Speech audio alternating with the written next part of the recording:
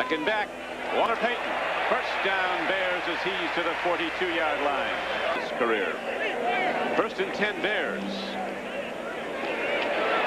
Running hard and running well is fullback Matt Suhey of Penn Stater. He thunders up for a gain of eight. And second and two. Second and two, a quick throw and a completion for a first down. And McKinnon is inside the 35-yard line. Dennis McKinnon sprinting out the left flank and a perfect lead. Recognition now as one of the outstanding coaches in the league. And here's McMahon on a rollout second and eight. They don't want him to run. McKinnon's up and touchdown Chicago. Bears make it happen fast. A 32-yard play. McKinnon scored the touchdown. He's now got on the day two catches for 48 yards from the end zone behind the defense. You see Suhey out there leading, trying to protect McMahon against the pass rush. This is well thrown. Marion on the coverage. Good catch by McKinnon. Five plays, 69 yards, just three minutes and three seconds. As he wasn't last week. Eason on first down stands in and throws a strikeout to the 47. Got the big league arm does Tony Eason. That was good for 17 yards as he gunned the ball out on the flank and coming down with it was Derwin Williams. The at birth considerably more now. Big William never lifted a weight or watched his own. Here is Tony Eason dropping to throw in the flat. He skips it. Whoa. So Buddy Ryan called him a wasted draft choice, but watch the sheer power of William Perry at somewhere around 330 pounds. My goodness gracious. Weight makes, unknown. Yeah, he makes everybody out there look small, doesn't he? From the shotgun on third and eight. Eason does very well just to go down before he gets hit with a head-on shot from Singletary. The middle linebacker from Baylor coming untouched up the middle. Out second down at about four for Chicago. Suhey, good execution by the Bears, and Matt Suhey runs ahead to the 44-yard line. A gain on the play of 12 yards. Right now, McMahon directs with a third and four coming up from midfield. Bears lead 7-0 first quarter. Payton in trouble and is knocked down for a loss. So Chicago will have to punt the ball to the Patriots with eight minutes to play and the clock running in the first quarter. The Patriots on the shotgun offense, third and 14. Singletary. the Singletary. He missed the interception as you saw. Then he figured that maybe James got it, so he was going to pop him good. Well, James did a good job, Don, and, and Kelvin Thomas in motion on second and 10. Here's McMahon. Nice strike. Down to his tight end, Emery Moorehead, and he is across the midfield line for a 20-yard gain, and the Chicago Bears cross in the New England area. It's the first time they've gone to a tight end in the game, and now McMahon lost one out in the far flank. A nice play by Margerum. Those are the sure hands. He caught a ton of balls from John Elway when they're both at Stanford. First down and 10. Handoff to Payton. Fumble. Free ball. Let's see who's got it. Looks like the Patriots. They do. New England gets the ball at the 37-yard line of the Patriots. So the Bears drive is stopped, and again, the Patriots take over with good field position, but they've not been close to a score. Second and nine now for New England.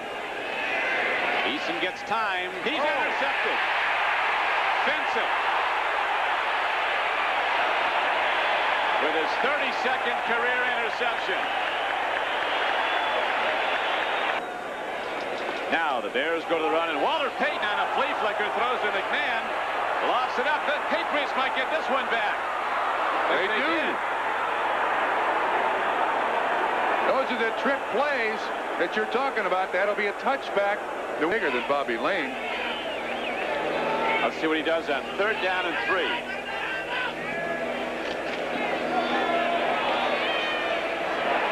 Gets a man. Let's see where they spot it. They're going to give him a first down. Margerum went where he had to go. The Patriots threw him back nine yards. Whoa. Collarbone. Yeah, you got it.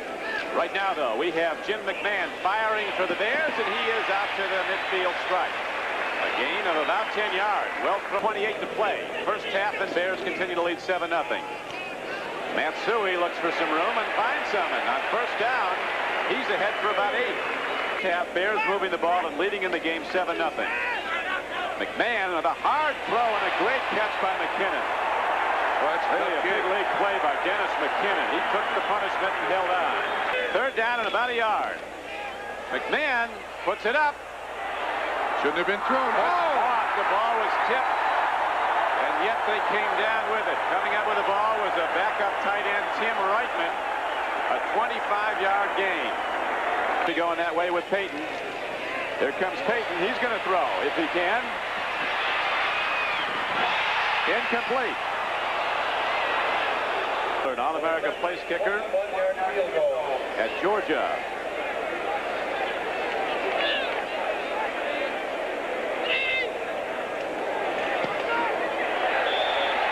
Nails it. 37 seconds to play in the first half, and the Bears extend their lead to 10 to nothing. It's unable to move with consistency. Go to the run. James goes over, and doesn't get much as he's run down very quickly. Coming over to make the stop at him was William Perry, who at 320 pounds can run. 320 pounds. That's got to be a misprint. There is a flag on the play. Face mask against Chicago. and.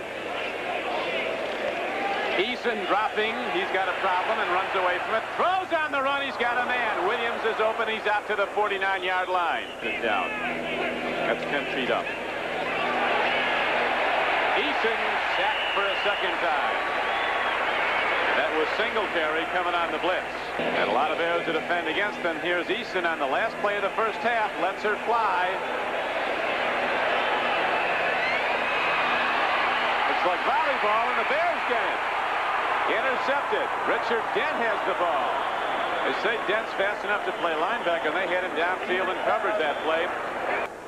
Well, that'll conclude the first half of play as Ditka and the Bears head to the locker room. We'll be going to NFL 85 for an update on what's transpiring around the National Football League in a moment. The Chicago Bears scoring first in a 32-yard touchdown pass play to Dennis McKinnon from McMahon on their first possession. Looked like they might be on the way to a rout, but then the Patriots held.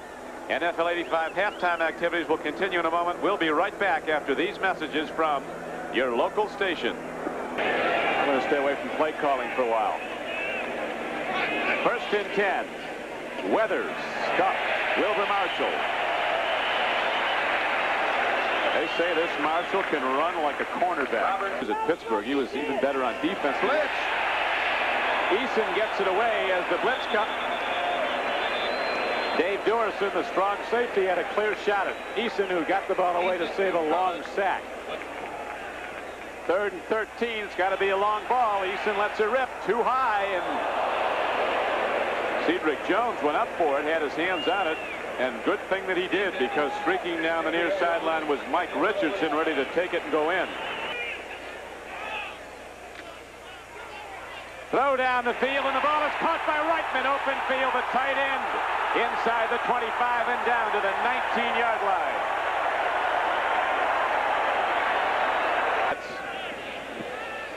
He's a player, he says he can do everything but run well, but he's been fast in this game, and now Payton breaks it down inside the 15-yard line. Third and two. Suhey tried the middle, and if he got there, it was just by the football. As they Coming this way. McMahon gets it. Patriots all hitting on him, but did they get him down in time? Payton even took some snaps yeah, late in the season. I'd hand it to anybody standing behind McMahon. No, they didn't make it. Went to a draw. Got yardage. Do it again. Nothing there, though, as the ball carrier, Tony Collins, was chopped by his own man, had been taken down. Taylor, and Taylor back at his 35, has room to return. He's out to the 48-yard line. Taylor returns the punt. 52-yard punt and a 13-yard return by 8-yard line of Chicago. Long ball. Gault is out there. Willie Gault inside the 10-yard line. Go deep to their burner, Willie Gault. First and goal. Payton. Down to the two-yard line. They've just taken the heart out of this New England defense. Just been on the field so long that I think they realize now that the offense is going to have a very difficult time scoring if they score at all. It's backers down in three points as they fill in the gaps, digging in. Suhey, no signal.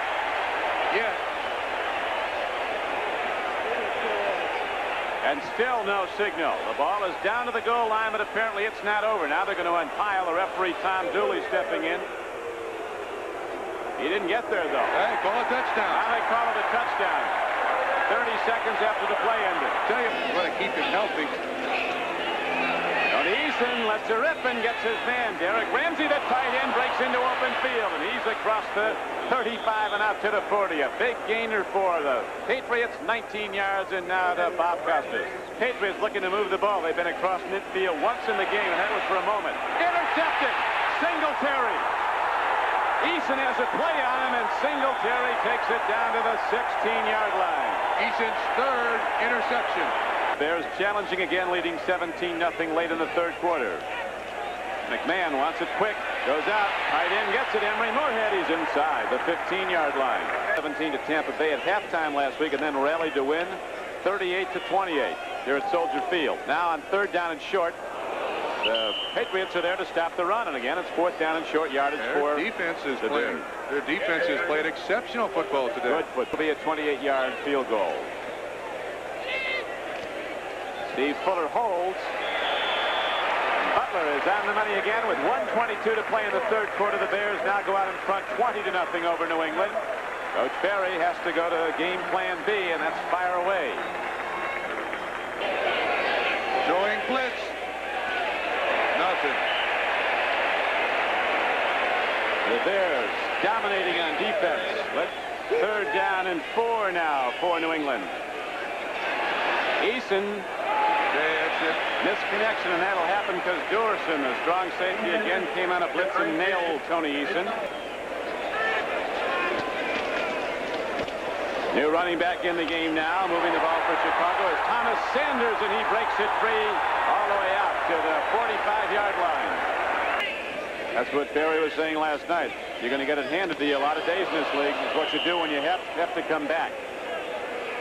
That was a design rollout. Julius Adams. Extended on a Butler field goal to 20 to nothing. That's how it stands now. McMahon hit full force, and Jim McMahon is down, but he's going to be up. Dent. Untouched. Third sack of the day. Totally untouched. Ran a game up front. Hampton had a hold of the offensive guard and tackle. Dent with great uh, foot speed. Comes from the outside. Numbers. Untouched.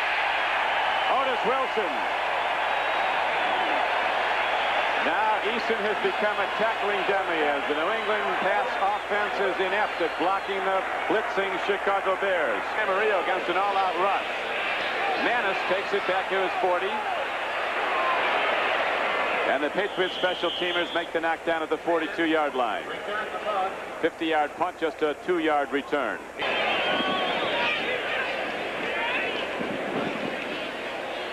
Bears go to the run, and uh, Kerry is out close to the 45-yard line. Two guys start up. There's going to be a foul call on Lippett and Margerum. They were knocking on each other. And quarterback and the Bears in the lead 20 to nothing. Calvin Thomas.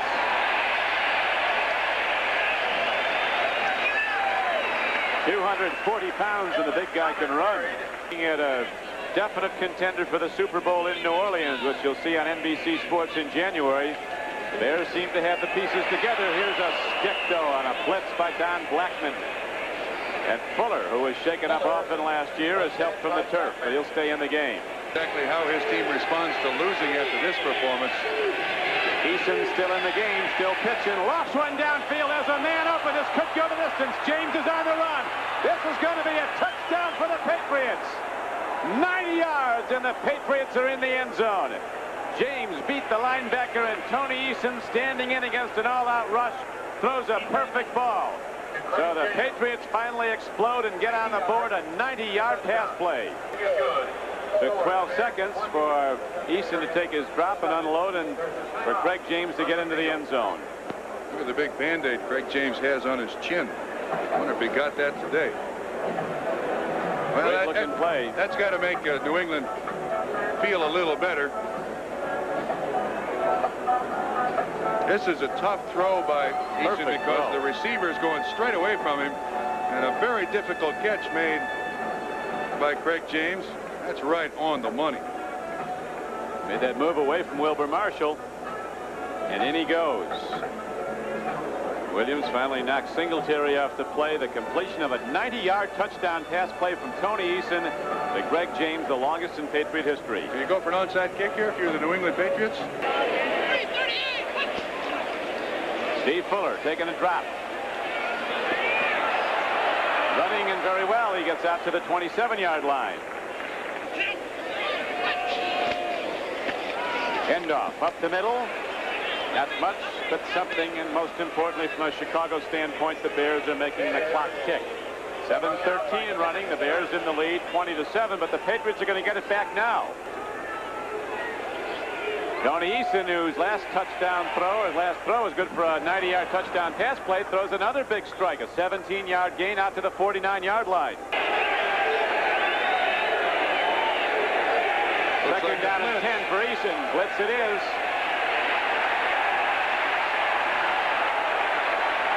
Tony Eason goes down hard, sacked for a fifth time. Four-man rush. Eason stands in. Throwing on the run, Tony Eason is knocked down hard. Steve McMichael got him as he released the ball. Seven. Here's Eason from the shotgun on first down. Blitz. Marshall untouched. Clock running mercifully for the New England Patriots. Last play of the game. Bears 2-0. Patriots 1-1. That'll do it from Chicago where the Bears look mighty and extending their record to 2-0 on the season. The Patriots go back to New England. One and one on the year and head. By the Chicago Bear offense and defense. The offense was not spectacular. It was functional with about three or four big plays all day long. It was uh, totally the Chicago Bear defense, just stifling, absolutely stifling the New England Patriots.